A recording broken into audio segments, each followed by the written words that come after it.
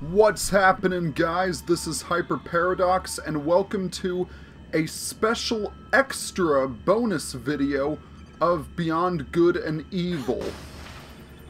Now, I am actually playing on another one of my duplicated save files, because in this episode I'm actually going to show off the M-discs that I have not showed off yet. And I happen to have three. First of all, when you complete the species inventory, you get this, the animal species M-disc. And we actually have the lighthouse theme playing in the background.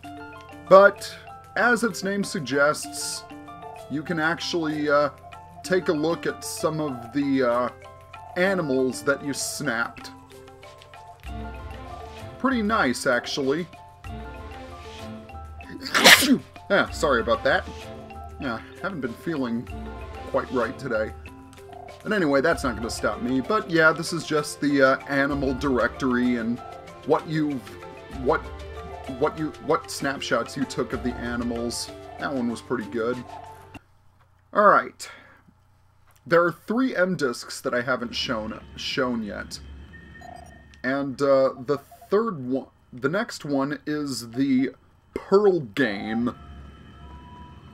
This is actually a little bit of a game designed by ESOM, and you get this M-disc when you collect all eight, 88 pearls. And basically you have to uh, maneuver the two pearls and try and get a uh, high score as possible. Um, I'm actually not sure if the PS3 version, the PS the PS3 HD version actually has an achievement for surpassing the high score, but since I'm playing the GameCube version, there are no achievements, and I'm actually doing pretty well so far. But, uh, yeah, there, there actually isn't any music playing. So, uh, it's kind of a fun game. It's a little bit difficult to maneuver the two pearls, though, in my opinion. Ah, case in point. Alright, let's see if I can, uh... Okay, I'm not doing very well. I only have 60, 691 points, and the high score is over 14,000. Okay. Alright. Okay, but that's basically the uh, Pearl game. Uh, nothing too special about that, but it, it's a fun way to pass the time, I guess. And like I said, there might be an achievement if you're playing the PS3 HD version of the game.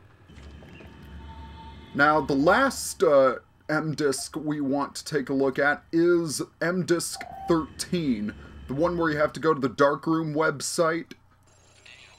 And it is essentially... And it is essentially the uh, disc game that Francis likes to play. And propaganda plays in the background, which is a uh, nice touch.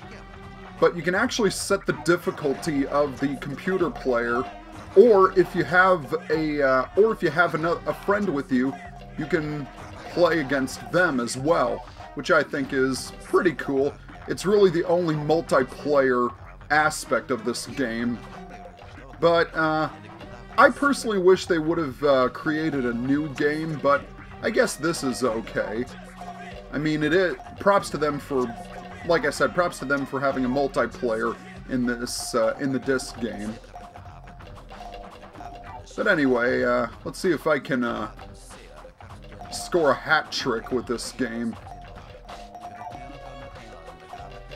Alright, come on. I actually think I uh, set the computer to easy. Oh well.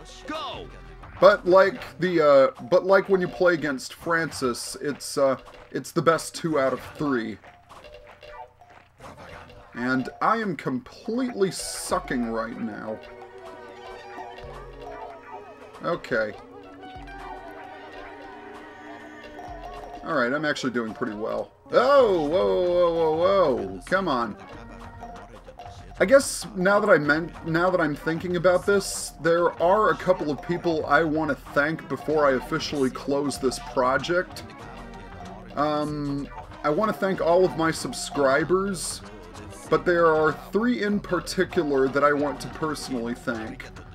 I want to thank The Factory, who has been giving me lots of support.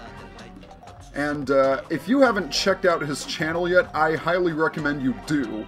He actually tells interesting facts about different about different things, which is pretty awesome. And cool, I won. Uh, also, I want to thank uh, YK Gaming. He's been giving me lots of support as well.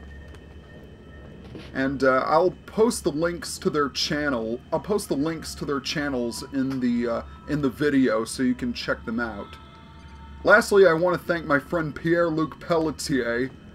He is my biggest online friend, and I wish I could meet him personally, except he and I live in different countries. But that's not important because he has been really supportive of everything that I've done online. And um, if you guys, if you guys ever meet him, he's a really, really cool guy to, uh, he's a really cool guy to talk to. So, um, I don't know what else to say except I have immensely enjoyed working on this project. This is a fantastic game, and for those of you who have never played it, I would highly recommend you do so. So I think for now, this is Hyper Paradox signing off. Or should I say, taking off.